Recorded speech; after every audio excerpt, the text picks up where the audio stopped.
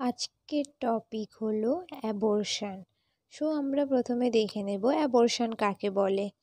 An expulsion or extraction of an embryo or fetus before twenty week of gestation weight less than five hundred gram when it is not capable of independent survival এই ডেফিনেশনটা দিয়েছে according to WHO এখানে বলা হয়েছে যে conceptual product of প্রেগনেন্সিতে যে যে সমস্ত কিছু কনসেপ্ট করে অ্যাজ এ উমেন হিসেবে, সেই কনসেপচুয়াল প্রোডাক্টগুলোকে বাইরে বের করে আনা হয় টোয়েন্টি উইকের মধ্যে এবং সেই কনসেপচুয়াল প্রোডাক্ট বা ফিটাসের ওয়েট হয় ফাইভ হান্ড্রেড গ্রামের বিলো এবং সেই কনসেপচুয়াল প্রোডাক্টটা পৃথিবীর বাইরে এসে কোনো যোগাযোগ, কোনো অস্তিত্ব থাকে না বা সে নিজের নিজে ইন্ডিভিজুয়ালি ইন্ডিভিজুয়ালি কোনো কিছু লাইফ স্পেন করতে পারে না। এখন আমরা দেখে নেব ইনসিডেন্ট এখানে বলা হয়েছে about eighty percentage miscarriage occur before the twelve week of pregnancy and about ফিফ seventy miscarriage occur before the sixteen week of pregnancy এখানে কিছুই বলা নেই। এটাই বলা আছে যে এইটি পার্সেন্টেজ মিসক্যারেজ কখন হয়ে থাকে? বারো মাস, বারো সপ্তাহের মধ্যে। আর সেভেন্টি ফাইভ পার্সেন্টেজ মিসক্যারেজ কখন হয়ে থাকে? ষোলো সপ্তাহের মধ্যে। এখন আমরা দেখে নেব type of abortion type of অ্যাবর্শনে সেখানে দুটো টাইপ আছে। Spontaneous abortion induced abortion spontaneous অ্যাবর্শনকে আবার মিসক্যারেজও বলে। স্পন্টিনিউয়াস অ্যাবর্শনের আবার দুটো type isolated abortion recurrent abortion এই দুটো কম্বিনেশনকে আমরা as a clinical signs and symptoms ছটা ভাগে ভাগ করে থাকি। ফার্স্টেরটা হচ্ছে threatened abortion inevitable abortion complete abortion incomplete abortion missed abortion and the septic abortion and যেটা ইনডিউস অ্যাবর্শন আছে, ওকে আমরা দুটো ক্যাটাগরিতে ভাগ করে থাকি। একটা লিগ্যাল অ্যাবর্শন একটা ইললিগ্যাল অ্যাবর্শন লিগ্যাল মানে বা MTP medical termination of pregnancy illegal মানে দ্যাট ইজ আনসেফ এই লিগ্যাল অপারেশন করার ফলে বা লিগ্যালভাবে অ্যাবর্শন করার ফলে ওই ফিমেলে সেপটিক হওয়ার চান্স থাকে। সেপটিক মানে ইনফেকশান যেহেতু ইললিগ্যালভাবে করছে, কোনো কিছু অ্যাসেপটিক টেকনিক মেনটেন করছে না, তাই তার সেপটিক হওয়ার চান্সটা বেশি থাকে।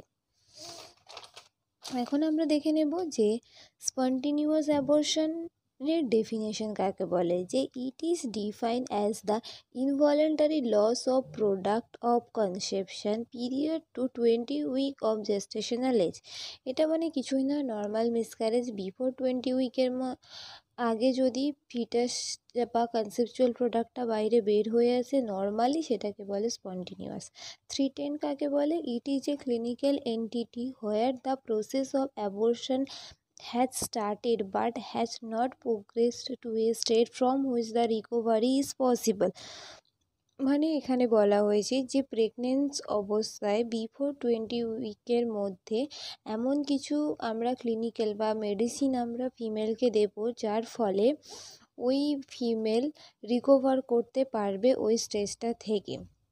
মানে ফিমেল রিকভার করতে পারবে বা কনসেপচুয়াল প্রোডাক্টটা বাইরে বেরিয়ে যাবে।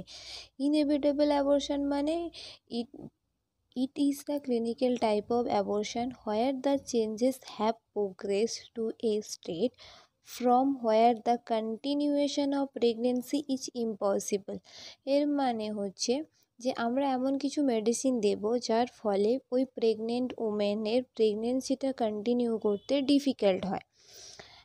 কমপ্লিট অ্যাবর্শন মানে when the product of conception are completely expelled it is called as a complete abortion এটার মানে প্রোডাক্ট অফ কনসেপচুয়াল প্রোডাক্ট যতগুলো আছে সবগুলো বাইরে যখন বেরিয়ে আসবে, সেটাকে বলে কমপ্লিট অ্যাবর্শন এটা কি করে করে? তারা হেলথ কেয়ার প্রফেশন বা ডক্টর তারা মেডিসিন বা কোনো কিছু ইউটেরাসের মধ্যে দেয়, যার ফলে যতগুলো কনসেপচুয়াল প্রোডাক্ট আছে সবগুলো একটা মাস আকার ধারণ করে মাস ফরমেশন করে।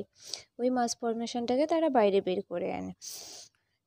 Incomplete abortion when the entire product of the conception are not expelled insert a part of it is left inside the uterine cavity এটার মানে পুরো কনসেপচুয়াল প্রোডাক্টের বাইরে বেরিয়ে আসে না কনসেপচুয়াল প্রোডাক্টের কোনো একটা পার্ট ভেতরে থেকে যায় সেটাকে বলে ইনকমপ্লিট অ্যাবর্শন এখন আমরা দেখে নেব মিসড অ্যাবর্শন কাকে বলে। When the fetus is dead and retained inside the uterus for a very viable period it is called as a missed or silent abortion. It is also called as a silent abortion. এখানে কি হয় যে ফিমেলের ইউটেরাসের মধ্যে foetus মৃত অবস্থায় থাকে but তখন health care profession বা মা কেউই জানতে পারে না যে ফিটাস মারা গেছে।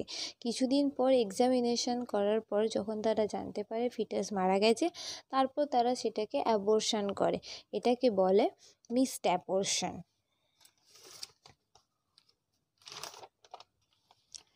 এখন দেখে নেব যে সেপটিক অ্যাবর্শন কাকে বলে? সেপটিক অ্যাবর্শন মানে any abortion associate with the clinical evidence of infection of the uterus মানে অ্যাবর্স যদি কোনো ইনফেকশানের কারণে কারোর অ্যাবর্শন হয়, সেটাকে বলা হয় septic abortion ins next one is the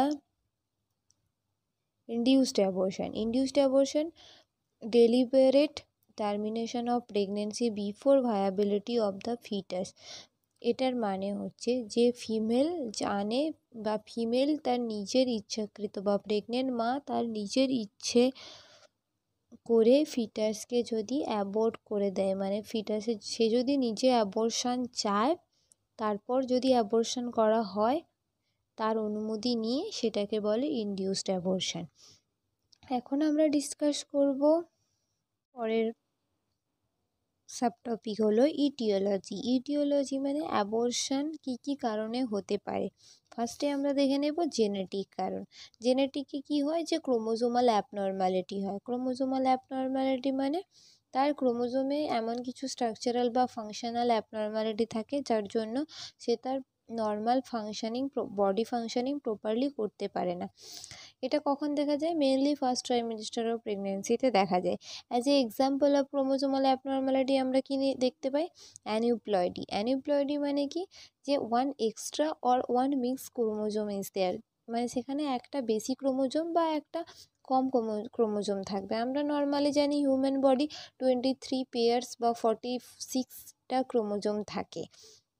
যেমন হচ্ছে যদি একটা বেশি থাকে সেটা হচ্ছে ট্রাইজোমি।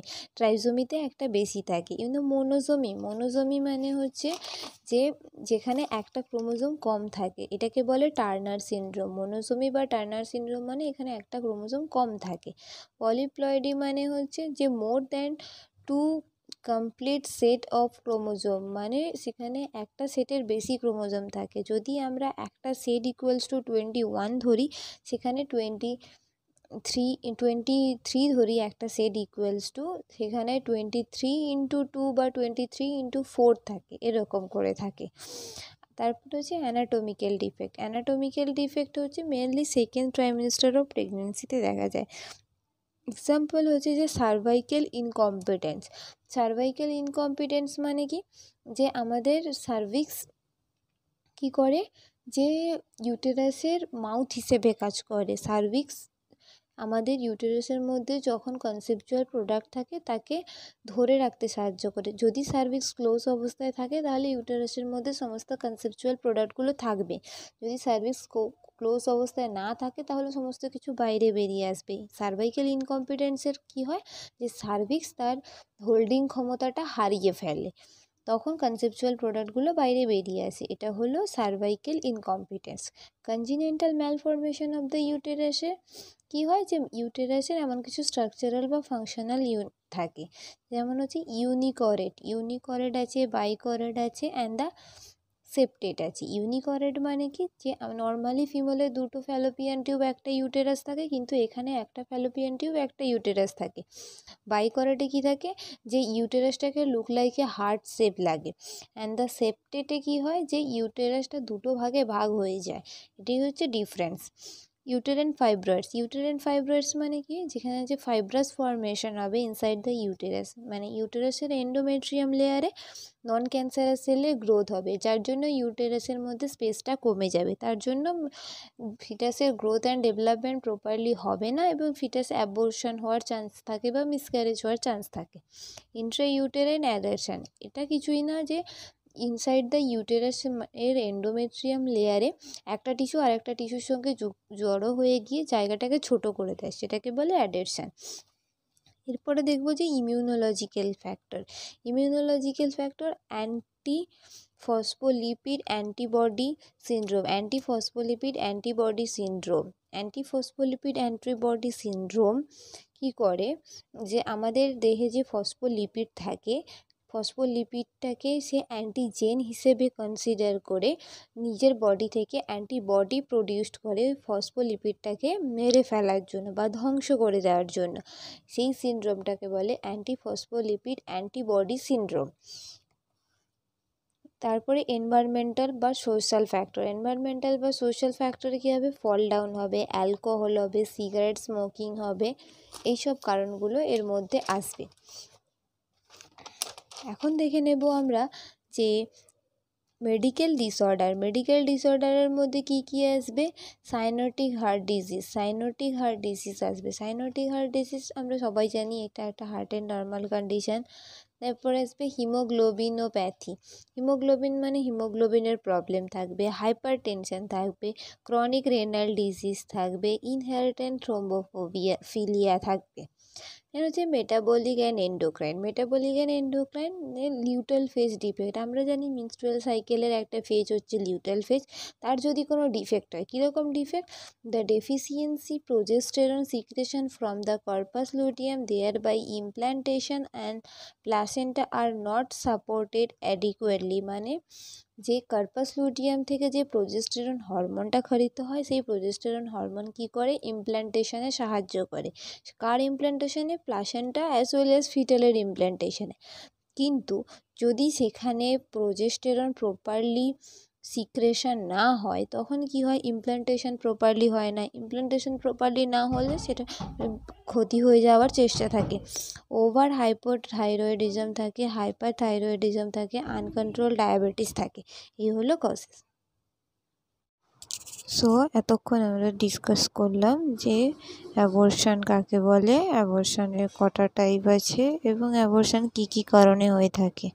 যেহেতু অ্যাবর্শন টপিকটা অনেক বড় সো এটা আমরা পার্ট ওয়ানে দিচ্ছি।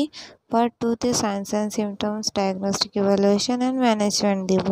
যদি তোমাদের এই ভিডিওটা ভালো লেগে থাকে, তাহলে লাইক শেয়ার অ্যান্ড সাবস্ক্রাইব করো। আর ওয়েট করো পার্ট টুর জন্য। Bye bye